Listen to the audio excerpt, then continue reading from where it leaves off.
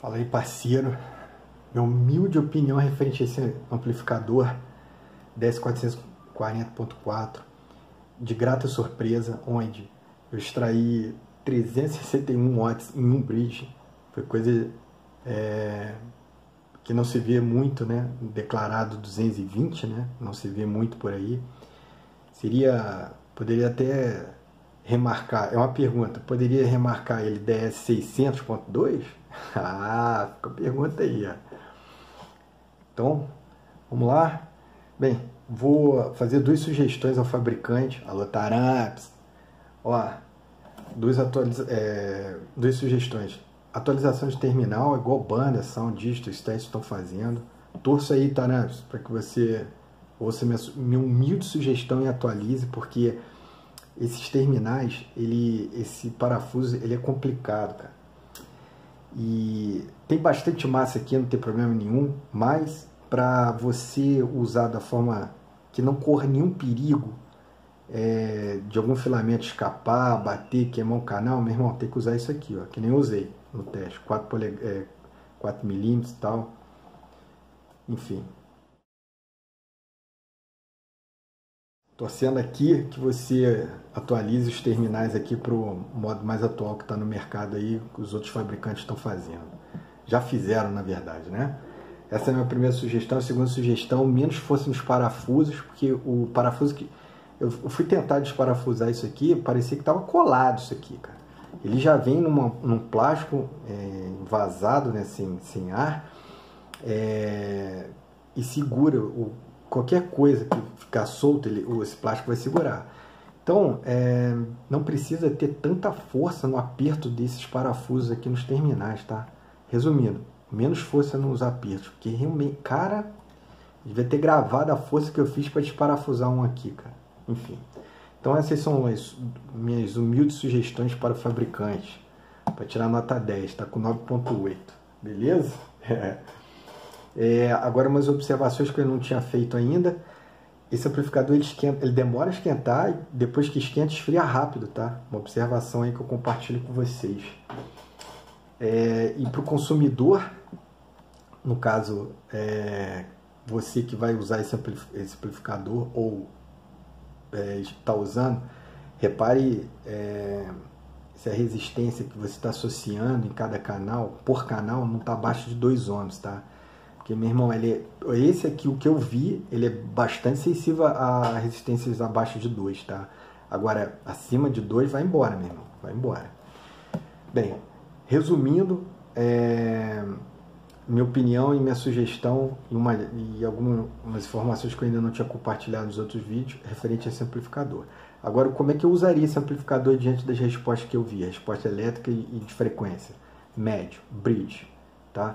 Fenólica, até 7K. TI não usaria, Twitter também não. Então eu exploraria ele é, para trio, caixa bob, que seja, no, nos bridges tá? a 4 ohms. Você viu a potência que foi extraída. E a ideia daqui é uma ideia nova, é um conteúdo novo em cima desse DS440, porque é, médio de 4 ohms, na maioria dos fabricantes não, não são 4 ohms é, abaixo de 4. Então, eu tentei extrair, além de subwoofer, woofer, enfim, eu tentei extrair a máxima potência com uma resistência um pouco mais baixa dentro da margem de segurança e explorei e foi com sucesso. Deu certo a ideia, beleza? E para som interno, meu irmão, você viu a resposta elétrica desse cada canal? É plana praticamente, muito bonita a resposta. É, a resposta elétrica, a resposta de frequência respondeu tudo. Tranquilão, meu irmão tá lá para cima lá de é, 8K, tava semi-triangular, diferente de, da resposta é, em bridge, por isso que eu usaria ele até uns 7K e por canal usaria full mesmo, kit duas vias e um subwoofer, aqui ó, kit duas vias, um, dois, canal 1 um, 2, subwoofer em bridge, fechou moleque. Ah, mas está falando para usar média fenólica. Como é que você vai, como é que vai completar o sistema? Se eu estou usando uma caixa Bob preciso de altas. aqui o menino aqui ó. Se você viu meu vídeo, Você viu a resposta elétrica, a resposta de frequência que esse amplificador aqui traz? Foi uma grata surpresa. Então, um completa o outro, parceiro. Agora eu vou falar de preço. Um DS, um DS 440 hoje no Mercado Livre, vou registrar aqui a data de consulta. Hoje no Mercado Livre, com frete, 320 reais. Um TS 400 400.4 com frete, 209 reais. Eu paguei 198 com frete e achei justo. Porém, após a análise, é, tudo que esse, esse amplificador está entregando e o que esse aqui entrega, vamos falar de potência, mais existe uma observação que vai ser dita logo em seguida. Diante do que esse entrega e esse entrega, eu, tô, eu acho que esse está caro. Pelo que entrega, está caro meu ponto de vista ficou bem claro, tá? O que eu enxerguei aqui. Porém, a resposta desse aqui é mais bonita que esse. Resposta elétrica, resposta de frequência. Se você viu os vídeos, você está entendendo o que eu estou falando. Por isso que um completa o outro. Entendeu? É, qual que você escolheria? Os dois. Ah, mas eu estou minimizando bastante o, o, o gasto. Pra... Aí vai nesse.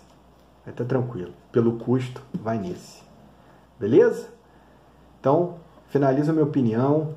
É, ah, vai nesse, mas esse aqui dá para fazer bastante coisa também.